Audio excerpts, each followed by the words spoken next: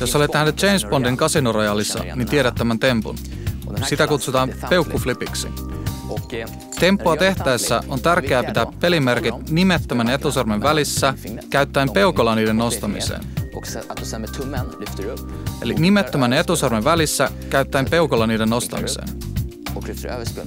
Onnistuessasi tässä. pelaat samassa pöydässä James Bondin kanssa.